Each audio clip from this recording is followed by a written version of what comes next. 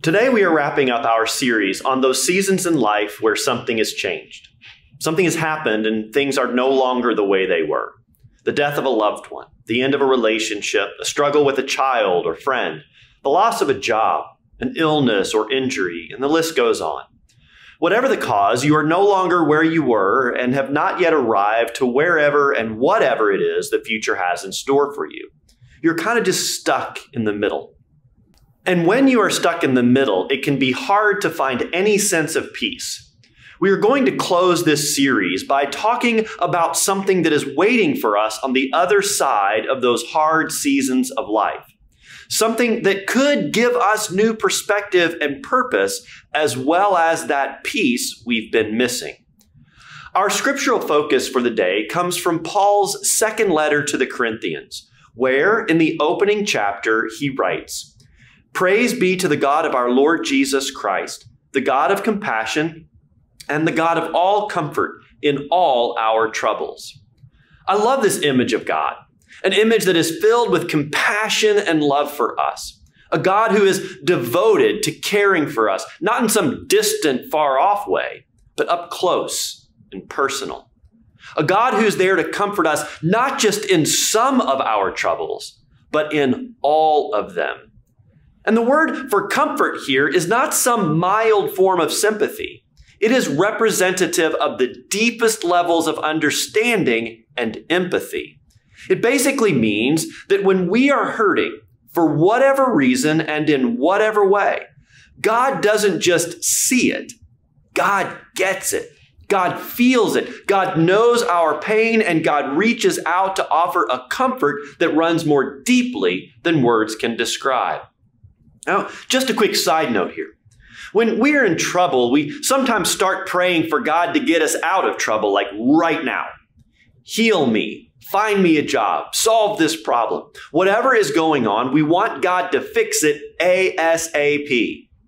Those prayers are perfectly natural, and I get them. I've said them.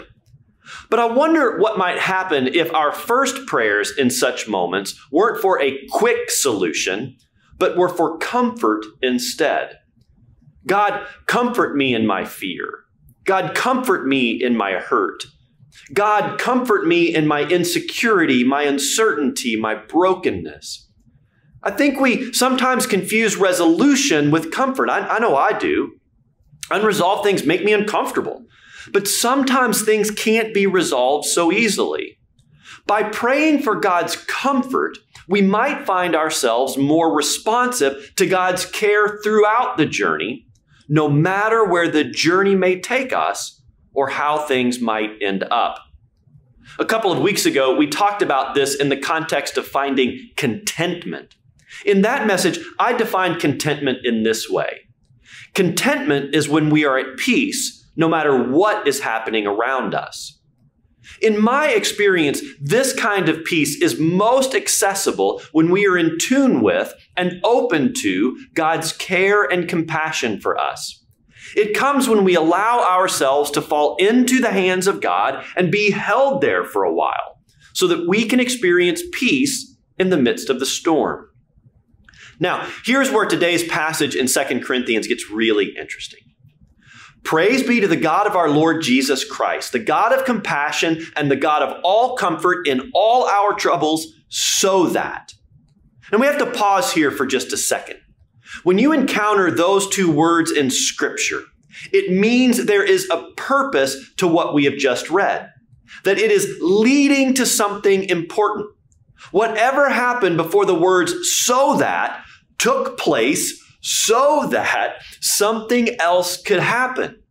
In this passage, that means God comforts us so that something else will come as a result of it.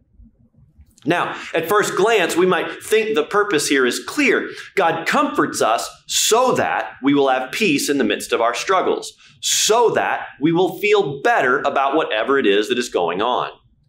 While that is certainly an important part of why God comforts us, it is not the only reason God comforts us. There's something more going on here. This is how Paul describes what is happening God comforts us so that we can comfort those in any trouble with the comfort we ourselves have received from God. We are comforted by God in all our troubles so that we can then become a source of comfort for others. After we have been through a season of life where things are hard, where we felt stuck and had little, if any, sense of peace, when we get to the other side of that, we are called to find ways that we can walk alongside others who are in those moments, to be the ones who are offering them comfort, just as we were offered comfort. Doing so is not only beneficial for the recipient of our care, but it is also beneficial for us. It can give us a new purpose, and it can help reconcile whatever situation we just went through by bringing something good out of a season of hardship. This is a big step toward restoring peace in our lives. Let me give you an example of what this can look like.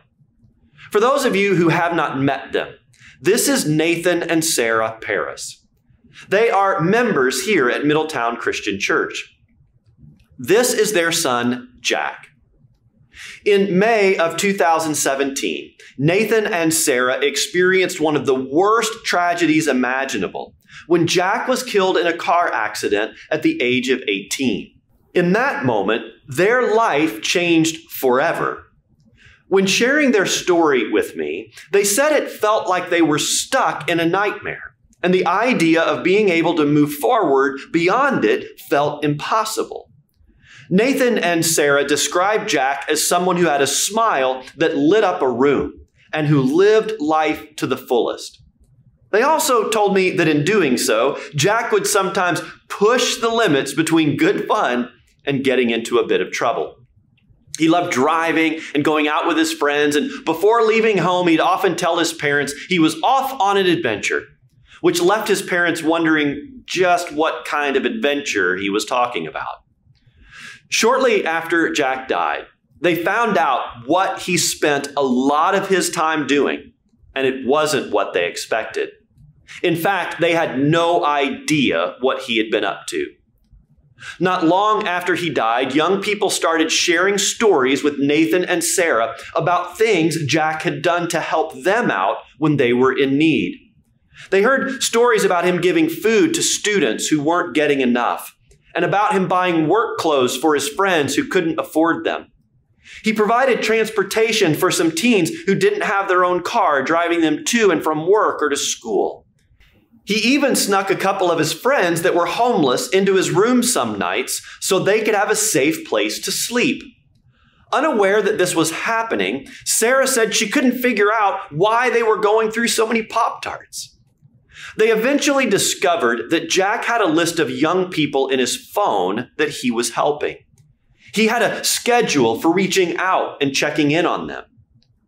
Shortly after Jack's funeral, the school counselor called Nathan and Sarah and told them she was hearing stories about what Jack had been doing and wondered if she could have the names on Jack's list so she could make sure those kids had the care they needed. So, while Jack could get a little off track every now and then, his adventures were not what his parents thought they were. Instead of getting into trouble, Jack was often helping people that were experiencing trouble and hardship in their lives. He never told anyone what he was doing because he wanted the people he was helping to know that they could trust him. As Jack's grandfather said at his funeral, for Jack, love was a verb and he lived it. While these stories about what Jack was doing were life giving for Nathan and Sarah, the journey was still hard. They were in that in between time, not where they were and not where they hoped to be for quite some time. Then, after some time had passed, they got a call from their daughter, Leanne. She was teaching in a low income school and was talking with her parents about the many needs of her students, which led her to say, I need a Jack for the children in my class. That statement was the catalyst for bringing together an idea at the heart of which was finding a way to continue doing what Jack had been doing to help young people who were in need. After some thought and exploration about how best to do that, the family started a foundation in Jack's honor called Love Big. The foundation exists to help advocate and care for youth, to give them a hand forward in life. Funds from the foundation have helped to buy clothes, sports equipment, school supplies, backpacks, and has helped with the purchase of cars. It has paid for youth to attend camp and now has a scholarship set up to help young people pay for trade school. It is a truly incredible story. It is also the kind of story that demonstrates the so that today's passage is talking about. The support and care the Paris family experienced during their time of need became a call for them to do the same. It gave them a new purpose and passion in life, and while it will never replace their son or take away the devastation of losing him, it has helped them in so many ways. And it is clearly helping others, just as Jack would have done had he survived. It is an incredible story to be sure, and I'm so grateful for Nathan and Sarah allowing me to share it with you. Those seasons of life where we feel stuck, not where we once were and not yet where we hope to be, they're hard. And no matter what might bring you into such moments, they are rarely a good thing. That's why when we are in the midst of them, we need the care of God and the care of each other. But at some point, we will begin to find ourselves as having been there rather than still being there. Not that our struggles may go away completely, they might not. But once we find that we are not camped out in the valley anymore, not living in between anymore, we are called by God, who has cared for us along the way, to care for others. We are called to do that for everyone who is still in the valley. If you've ever been in the valley and come through to the other side, I wonder how it is that God is calling you to help those who are still there. What is it that you can do to help bring peace, comfort, and care to those who are struggling? What is the so that story you are going to write? Maybe, just maybe. By writing that story, by answering God's call to use your experience in ways that can help others, you might find a new purpose in life. You might also find the peace you've been missing. Amen.